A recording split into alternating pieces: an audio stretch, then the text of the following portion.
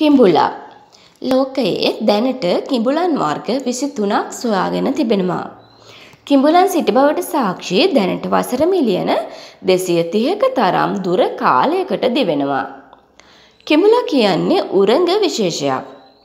ශ්‍රී ලංකාවේ දැනට ගැට කිඹුලන් හා හැල කිඹුලන් ජීවත් වන බවට සටහන් වෙනවා.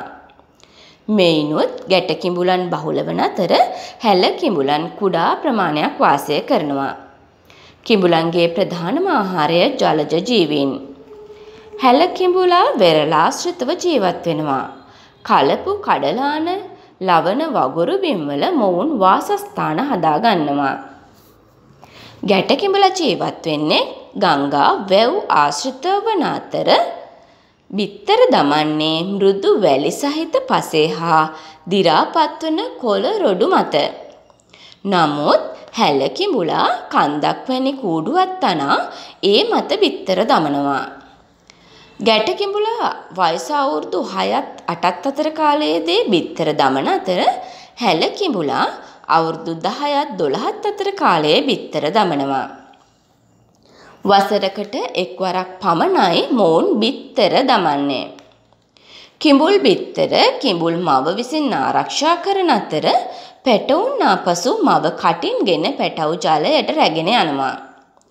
කිඹුලන් ජලයේ සත්ව සමතුලිතය පවත්වාගෙන යාමට විශාල පිටුවහලක් සිදු කරනවා. ඒට හේතුව මාළු ප්‍රමාණය වැඩිවීමට නොදීමත් දරුණු මාළුන් විශාල වශයෙන් බෝවීමට ඉඩ නොතිබීමත්. මැරුණු මාළුන්ද ආහාරයට ගන්න නිසා ජලයේ සුරක්ෂිතතාවයද රැකෙනවා.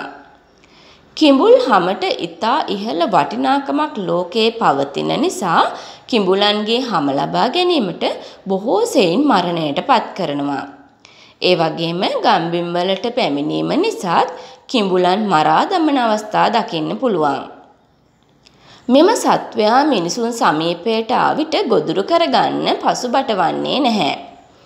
භයානක සත්වයෙක් වුවත් ජලයේ සමතුලිතතාවය රැක ගැනීමට ඉතා වටිනා සත්වයෙක් ලෙසිනුයි හඳුන්වා දිය හැක්කේ.